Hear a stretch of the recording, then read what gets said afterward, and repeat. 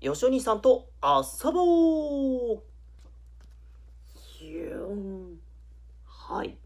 よしお兄さんの動物お絵かきできるかな？あー今日もお兄さんある動物を描いてみたいと思います。みんな当ててみてね。それではお絵かきスタート。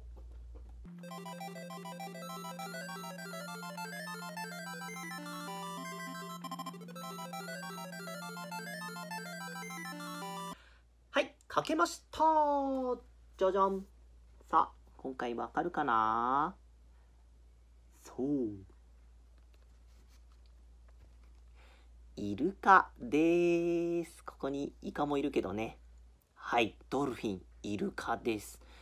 さあこのイルカ魚じゃないんだよね。人間と同じ哺乳類です。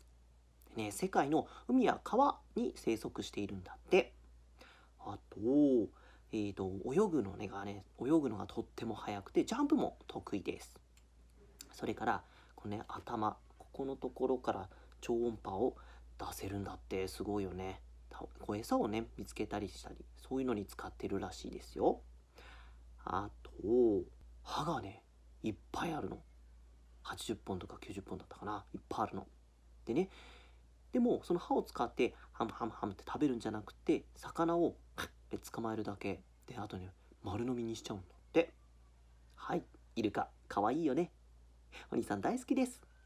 さあ次はどんな動物描こうかな。それじゃバイバーイ。